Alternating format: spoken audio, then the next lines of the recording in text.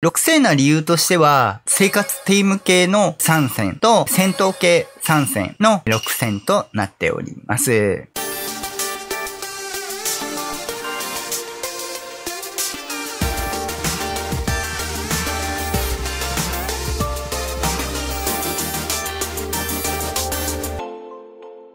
はいどうも、しんです。本日もアークサバイバルエボルブドをやっていきます。本日は少し趣向を変えまして、このロスアイランド結構いろんな恐竜がですね、集められたマップにはなっているんですが、もちろんいない恐竜もいまして、このロスアイランドにいない有用な恐竜の6000という形で、えー、ご紹介していこうかと思います。6000な理由としては、生活テーム系の3戦と戦闘系3戦の6戦となっております。今回、まあ泣く泣く削った恐竜たちもいいるんですけども、能力としては有用なんですが、移動、あと攻撃系も有用なジェニシス2のアストロデルフィス。こちらに関しては移動能力もそうですし、戦闘能力も高いんですが、何分エレメンタルを使う部分がありまして、今回は省かせていただきました。あともう一点ですね、採掘として最強の能力を持っている、これもジェネシス2のテックストライダーというのもいるんですが、これに関しては持ち運びがですね、ポッドが使えないんですね。ホバーでは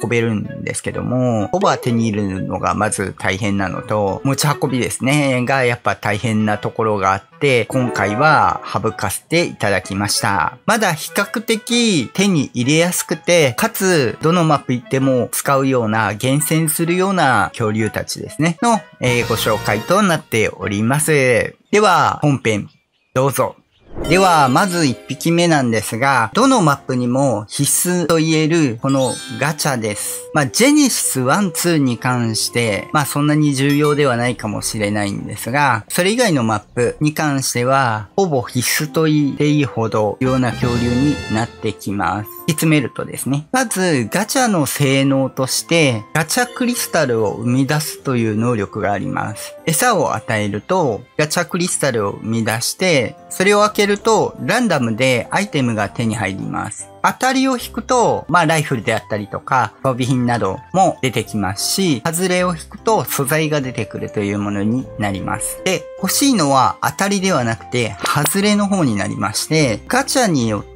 個体によってですね、生み出せるものが変わります。これの場合は、火打ち石、繊維、砂、原油、ガスボール、硫黄の基本的には6個あります。個体ごとにですね。で、それ指定することもできるし、ランダムで、この中から全部の中から1個を外れとするというものがあります。原油とかガスボールとかも生み出してくれると結構便利だったりするんですけど、マップにない、え、素材を手に入れるということも可能ではあります。この中で、えっ、ー、と、究極なのが、エレメンタルダストを生み出すガチャがあります。で、エレメンタルダストって何かっていうと、まあ、エレメンタルの粉なんですけど、エレメンタルを生み出すことができます。不安定なエレメンタルシャードとか、不安定なエレメンタルを生み出して作ることができます。で、これをするとどうなるかっていうと、要は家にいながらエレメンタルが手に入るっていうことですね。まあ1000個なんですけど、まあ結構生み出してくれたりするので、結構溜まります。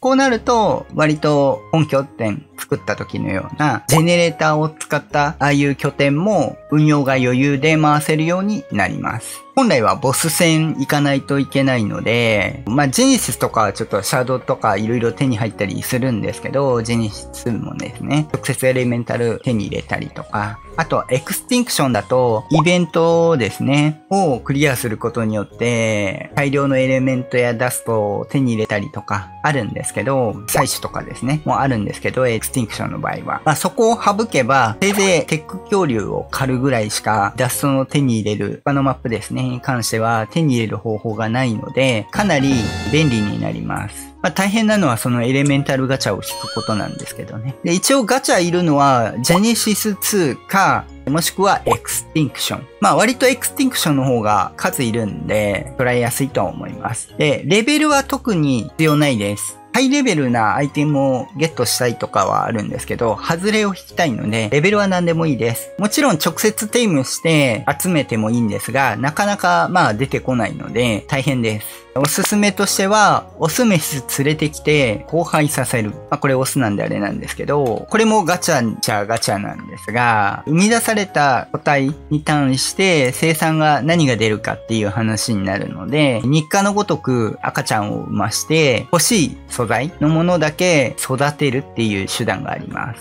で、これを、まあ、できればオスメスですね、2匹揃えれれば最大効率でガチャエレメンタルダストを集めることができます。まあ、これはこれで結構大変な作業ではあるんですけど、ガチャを厳選することを考えれば何かのついでですね。後輩の感覚とかもあるので、次絡ませるための感覚ですね。などもあるので、そこに関してはほぼ1日1回ぐらいですかね。今もうちょっと短いのかな。連続ではできないので、基本的にですね、ローカルで感覚いじらない限りは。なので、ここに関しては、ひたすら産ませて出てくるのを待つっていうことですね。行うことによって必要な素材のものだけ育てるという部分があります。まあ育て方とかも色々あるんですけど、そこまでしちゃうと長くなっちゃうんで、赤ちゃん産まして、エレメンタルガチャを生み出すっていうのが一番楽だと思います。もっと楽なのは、エレメンタルガチャ持ってる人に頼んで、えー、クローンを作るっていうのがあるんですけど、まあ、それは持ってる人がいるかどうかと、クローン作ってくれるかどうかと、まあ、いろいろあるので、えー、どっちが楽かっていうところですね。で、一応最大効率としては、石でいいので、外れを引きたいんで、あとは、フクロウくんのペレットを一緒に持たせることによって、最大数で生み出してくれます。1個から取れる個数が変わってきます。なので、ガチャの場合、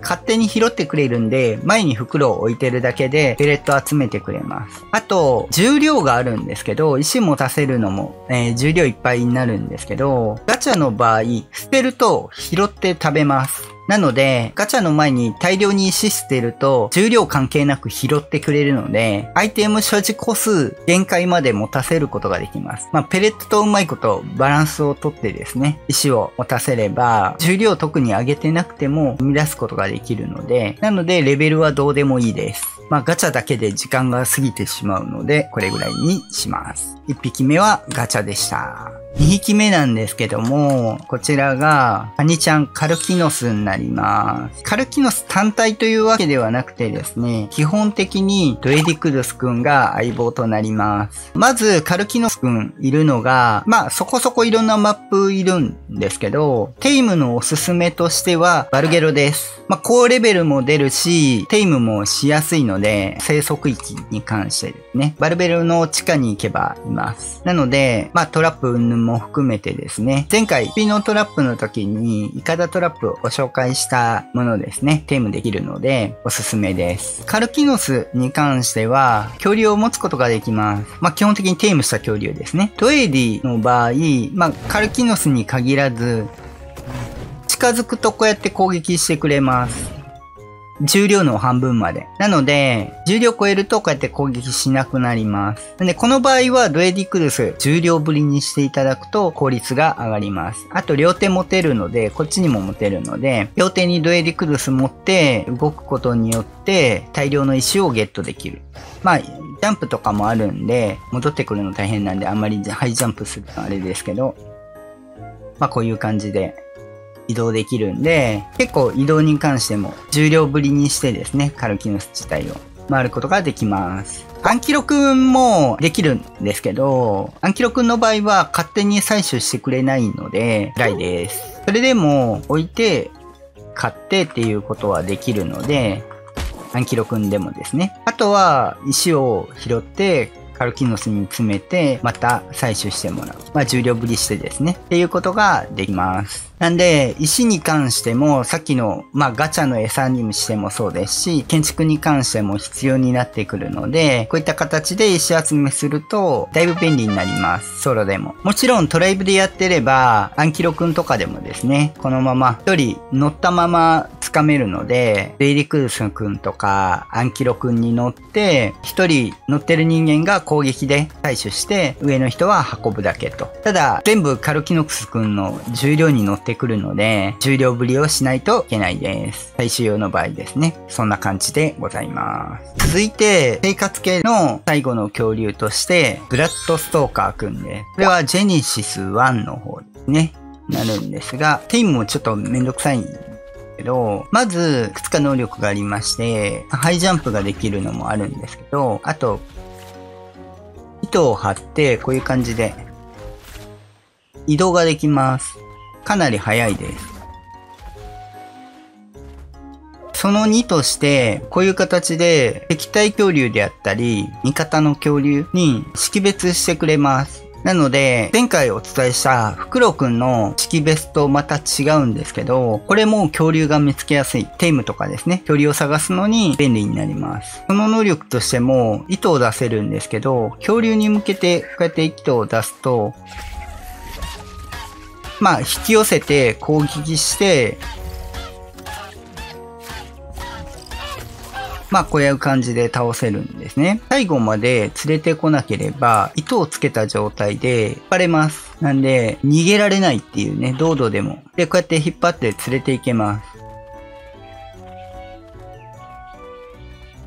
まあ、罠に引っ張ってもいいですし、まあ、外れれば逃げていくんですけど、なんで最後まで引っ張らずに、こうやって引っ張ることもできます。まあ、大きい恐竜はもちろん無理ですけども、アンキロくんとかも引っ張れます。もう一つが、武器を構えた時に、恐竜に乗ったまま武器が構えれます。なので、この状態で移動もできますし、もちろん恐竜に乗った状態なので、生身よりも恐竜に攻撃が入ります。なので、テイムするときに、えー、この状態で麻酔弾を打ち込んだりとかができます。これも便利です。まあ、逃げながら、トラップにはめずにですね、逃げながら攻撃、麻酔弾打ち込むとかも、こう移動しながらできたり、ぶら下がりながら、あの、撃ったりとかできるんで、結構便利です。まあ、地形的にちょっとぶら下がりながら攻撃するのは難しい場合が多いと思うんですけど、一応壁にも貼り付けますんで、こういう感じで、えっ、ー、と、壁にも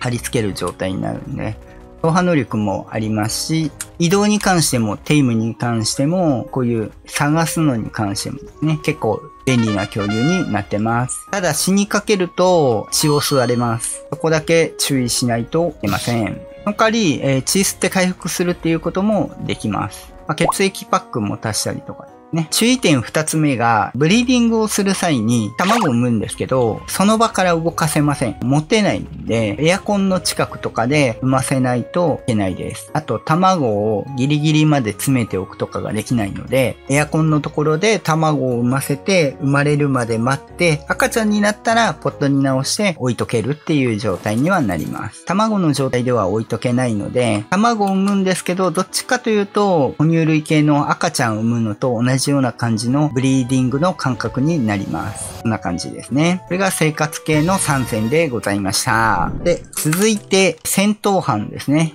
の、えー、3種になるんですが、まず1匹目。ボス戦でも結構有用になってくるんですけども、ヒノニスクね。これに関しては、生活系にも含まれる部分がありまして、まず生活系でいくと、有精卵、オスメスでですね、卵を産ませると、特級キブルになります。家に大量に置いて、まあ、これも日課のような感じで卵を産ませて貯めると、特級キブルを大量に生産ができるようになる。一応ユーティラの卵でも作れるので、ユーティラ捉えて、まあ、キブリ用の卵で産ましてもいいんですが、まあ、どちらでも可能です。ある意味、有精卵になるんで、計画的に産ましてできる部分があるんですけど、こんな感じで。で、戦闘に関しては、えー、まず移動も早いです。で、えー、崖を登ることもできます。こういう感じで。ヒラコレオのようにかける感じではなくて、こういう飛びついてジャンプして登っていくような感じになるんですけど、まあこういう感じですね。で、攻撃に関しては、こういう形で、えっ、ー、と、継続ダメージを与えれます。列車による。これ割合ダメージなんで結構ボス戦とかに有用です。相手が要は強いほど結構有用なダメージになるんで、だいぶ強いです。移動力もあるし、列車ダメージもあるし、あと机上攻撃もこうやってできるので、ボス戦にはだいぶ有用なものになります。ドラゴン戦とかかなり有用ですね。以上です。で、戦闘系2匹目、リーパーですね。リーパーも移動できて、まあ、ハイジャンプもできるんなんで、移動にも向きますし、もちろん、えっ、ー、と、火力もあるし、防御力も高いです。サドルいらないですね。ただ、払わないといけないんで、一応出てくるのが、アベレーションとジェネシス2です。で、トラップに引きやすいのは、まあ、アベレーションなんですが、アベレーション行くと出てくるの大変なのと、まあ、レベルがストリーマップでそんなに高くないっていうところがあるので、一応ジェネシス2の方が高レベル出やすいし、まあ、移動もしやすいっていうところはあるんですが、ゲームポイント的にあ、の建築が洞窟内になってできないので、外まで引っ張らないといけないという手間があります。まあ、どっちでやるかはお任せします。攻撃もできるんで、こういう回転攻撃とかもあるんで、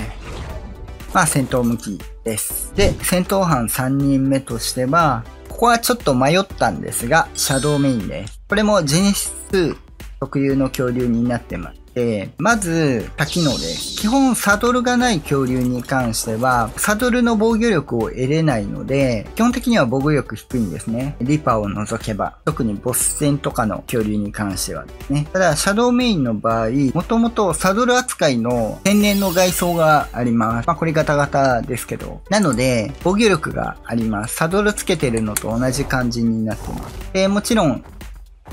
移動早いのもありますし、あと、こういう感じでハイスピードのハイジャンプができるんで、結構マップ移動とかでも全然速くできます。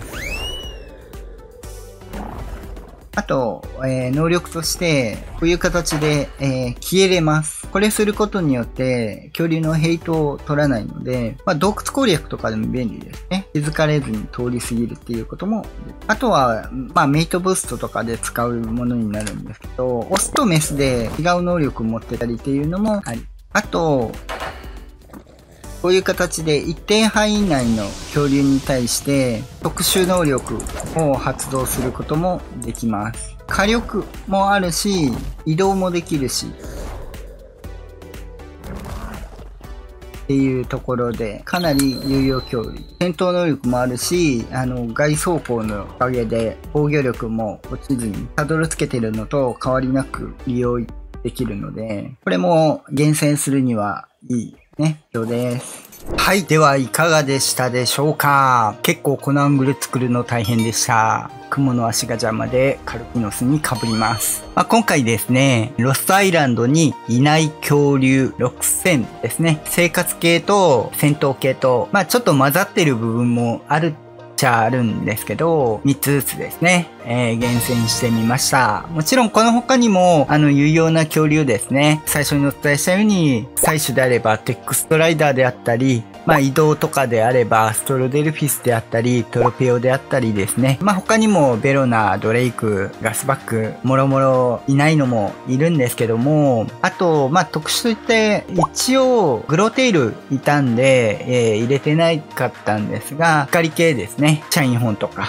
あのあたりも便利な恐竜ではあるんですけども、今回は能力としては一緒なので省いてます。まあ個人的な部分ではあるんですけども、結構ですね、必須的にどのマップ行っても重要になってくる恐竜たちですね、なっておりますので、ちょっとエレメンタルガチャ出すのが大変だとは思うんですけど、気長にですね、3日ぐらいの間隔で、鉄集めるのと同じぐらいの間隔でですね、赤ちゃんを増して集めれば出てくるんで、頑張ってみてください。まあ、エレメンタルガチャですね、出てくると、えー、結構便利です。いろいろテック建築とかね、をするまで集めるのは、まあ、オスメスいないと結構大変かもしれないんですけど、それはそれでよそで集めていいので、ただ、日々の運用ですね、まあ、テレポーターであったりとか、あと、ジェネレーターですね、を動かすとかですね、に関しては、やっぱその都度、ボス戦をクリアしないと、洗剤は作って持ってこれるんですけど、運用のエレメント自体は転送ができないので、各マップのボスを倒して手に入れるとかになってくるので、一回ですね、エレメンタルガチャ出してしまえば、出すまで大変ですけど、あと楽になるんで、まあ気長に頑張っていただければいいかなと思います。で他にもですね、まあクモちゃんに関しても結構、まあテイム今大変にになってると思うんですけど、厳選すると結構便利に使えます。いろいろ。で、言わずもがな、えー、カルキノスくんね。プロでも、やっぱり、あの、レイディ君と組ましてですね、石集めとかかなり便利になるんで、カルキノス君の厳選もかなり、えー、重量ぶりですね、の厳選していただけると、生活が楽になります。で、戦闘班に関しても、やっぱディノピテクスに関しては、まあ、卵も使えるし、で、戦闘で繁殖させても、かなり攻撃力もあるし、機動力もあるし、で、小柄で机上攻撃もできるので、本当にドラゴン戦とかはかなり有用なものになる。まあ、その他リーパーとかですね、シャドウメインに関しても、戦闘能力として高いですし、まあ、他にも戦闘系いるっちゃいますが、やはり X リーパー、シャドウメインなどは、やはり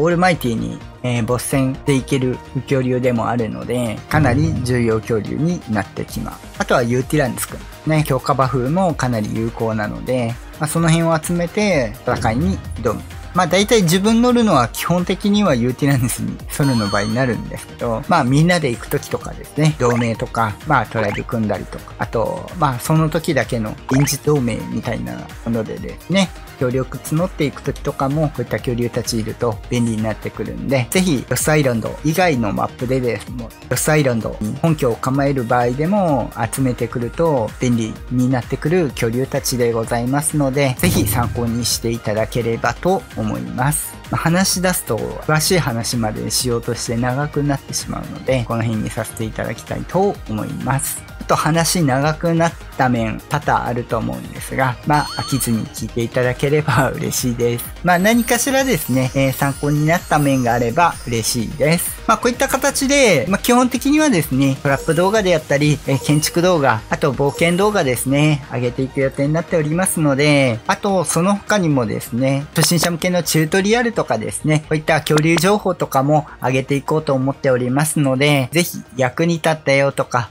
面白かったよっていうのがあればですね、ぜひ高評価、あとチャンネル登録よろしくお願いいたします。ではまた次回お会いいたしましょう。バイバイ。